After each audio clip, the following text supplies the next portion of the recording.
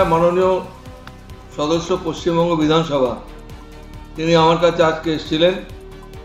একটা resignation letter তিনি আমার অফিসের অফিসে জমা দিয়েছেন। সেই resignation letter is under my examination আমি কালকে এটাতে অর্ডার পাস করে দেবো। মানে এখনও গ্রহণ করা হলে এটা বলা যাবে না।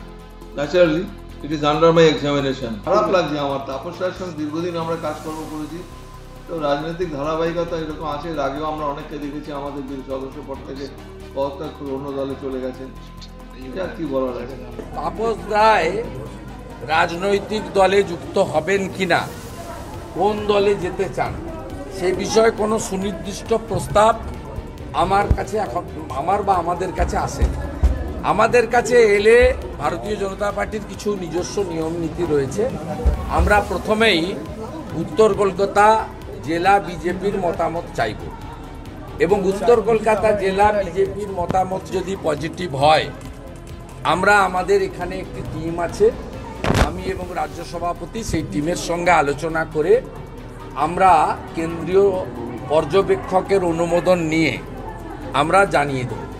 কিন্তু একটা কথা আমি বলতে পারি, রাজনৈতিক ময়দানে ভুল ত্রুটি অনেক কিছু থাকতে পারে, কিন্তু তাপস রায় এই রাজ্যের একজন বিশিষ্ট নেতৃত্ব এবং তিনি একটা সময় মন্ত্রী ছিলেন, চার পাঁচবার এমএলএ হয়েছেন, কলকাতা কর্পোরেশনের কাউন্সিলর এবং এমএমআইসি ছিলেন এবং বর্তমানেও তিনি ব্যারাকপুর সাংগঠনিক জেলা তৃণমূল কংগ্রেসের সভাপতির দায়িত্বে আছেন এবং তৃণমূল প্রতিষ্ঠা হওয়ার অনেক আগে থেকে তিনি ছাত্র রাজনীতি থেকে, ছাত্র পরিষদের তৎকালীন সভাপতি থেকে কয়েক দশক রাজনীতি করেছেন তাই আমি তার এই চোরেদের পার্টি থেকে পদত্যাগ, এই ব্যবস্থার বিরুদ্ধে পরিবারতন্ত্র বা মালিকানা কোম্পানির মতো আচরণ, তার বিরুদ্ধে যে তিনি পদত্যাগ করেছেন তাকে স্বাগত জানাব।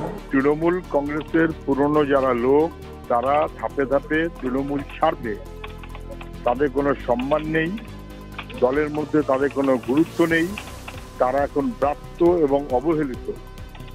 একটা সময় যারা মনে করেছিলেন যে রাজনৈতিক কর্মী হিসেবে তারা কংগ্রেস করবেন বা কংগ্রেসের পর তৃণমূল করবেন, তারা এখন বুঝতে পারছেন যে তৃণমূল দলটা লুঠেরাদের দল, লুঠেরাদের হাতে বন্দি, বকরার লড়াই, বেআইনি সম্পদের অধিকারী হবার লড়াই এবং লুঠের টাকার ভাগ যে কত কালীঘাটে পৌঁছবে যে যত কালীঘাটে পৌঁছবে, সে তত বড় নেতা।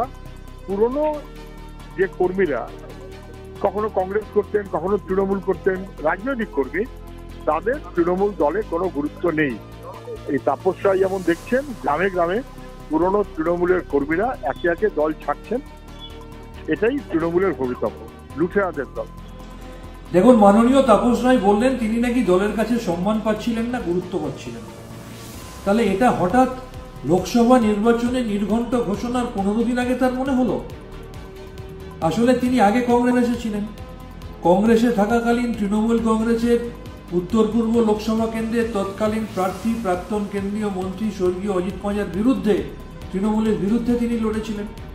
পরে তিনি তৃণমূলে যোগদান করেছেন, তৃণমূল তাকে বিধায়ক করেছে, তৃণমূল তাকে মন্ত্রী করেছে, তৃণমূল তাকে বিধানসভার ডেপুটি চিফ হুইপ করেছে, তৃণমূল তাকে সাংগঠনিক পদে শীর্ষে বসিয়েছে।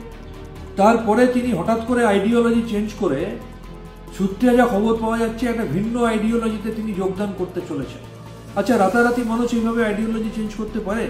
যদি খুব বড় ডিলের অফার তার কাছে না থাকে? এটা তো বড় প্রশ্ন। তিনি বলছেন, তিনি অপমানিত। আচ্ছা তাহলে উত্তর কলকাতা সভাপতি পদ থেকে যখন তাকে সরিয়ে দেওয়া হলো, এবং তারপর যখন দমদম ব্যারাকপুর লোকসভা কেন্দ্রের সাংগঠনিক জেলার সভাপতি করা হলো তাকে সেই জায়গায় দাঁড়িয়ে তিনি তখন কেন এই কথাগুলো বললেন না? ধো, তাপস রায় তাপসদা আমার দাদার মতো তাপসদা আমার নেতা। আমি একজন কর্মী, শুধু নয়, আমরা একটা দাদা ভাই সম্পর্ক। কলেজের তাপসদা আমার সিনিয়র। তো এখন সেখানে আমার বক্তব্য তাপসদা যদি কোনো কারণে ইস্তফা দিয়ে থাকে, দল ছাড়ার কথা বলে থাকে, তাহলেও আমি তাপসদাকে অনুরোধ করব যে, যদি কোনো যন্ত্রণা থাকে, যদি কোনো বক্তব্য থাকে, তাহলে তাপসদা আপাতত একটু বিশ্রামে থাক।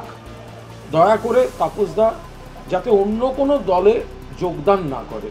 যখন একটা সিদ্ধান্ত নিয়ে ফেলেছে, কোনো চিঠি দিয়ে ফেলেছে, আমি তো তাকে বলতে পারি না, দাদা, ফিরিয়ে নাও। সকালে ব্রাত্য বসু ছিল আমার বন্ধু। বা তাপস রায়ের সঙ্গে আমি ব্রাত্য কথা বলেছি। আমরা চেষ্টা করেছি, আমরা অনুরোধ করেছি। কিন্তু সিদ্ধান্ত পুনর্বিবেচনা, সেগুলো নিয়ে আমরা বলতে চাই না, সেটা আমি কেন বলব? আমাদের দলের মুখপাত্ররা বিষয় বলবেন, আমি বলার কেউ নই। তো এখন আমি এইটুকু বলতে পারি তাপস রায়কে অনুরোধ করা যে, দাদা, আপনি যখন ছেড়েছেন কোনো যন্ত্রণায় বা কোনো বক্তব্যে বা এ, তো তাহলে আপনাকে পদত্যাগ প্রত্যাহার করতে হবে না। কিন্তু একটু যদি কদিন বিশ্রাম নেন, যদি সম্ভব হয় বিবেচনা করে দেখবেন, আপনি নিশ্চয়ই আপনার মতো কোনো সিদ্ধান্ত নিচ্ছেন। আপনি দয়া করে কোনো প্রতিপক্ষ রাজনৈতিক দলে যোগদান করবেন তাহলে আমরা দুজনে আর তাপসদার বাড়িতে তো আমি যাই। তাপসদার সঙ্গে আমার শুধু নেতাকর্মীর সম্পর্ক না একটা দাদা ভাইয়ের সম্পর্ক।